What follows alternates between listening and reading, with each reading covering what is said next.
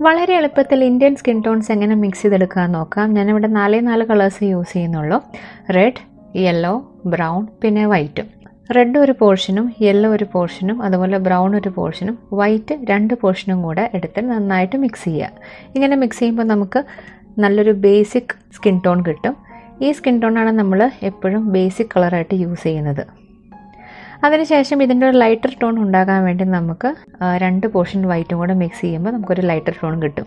അതുപോലെ darker tone ഉണ്ടാക്കാൻ വേണ്ടി ഈ ബേസ് ടോണിന്റെ കൂടെ രണ്ട് പോർഷൻ ബ്രൗണും കൂടെ മിക്സ് ചെയ്യുമ്പോൾ നമുക്കൊരു ഡാർക്ക് ടോൺ കിട്ടും. പിന്നെ സാധാരണയായി കാണുന്ന ഒരു സ്കിൻ ടോണാണ് പോർട്രേറ്റ് പിങ്ക് ഇത് കൂടുതലും ഫോറിനേഴ്സിന്റെ ഒരു സ്കിൻ ടോൺ ആണ്. അവർക്ക് കൂടുതലും പിങ്ക് അണ്ടർ ടോൺസ് ആണ് കാണുന്നത്.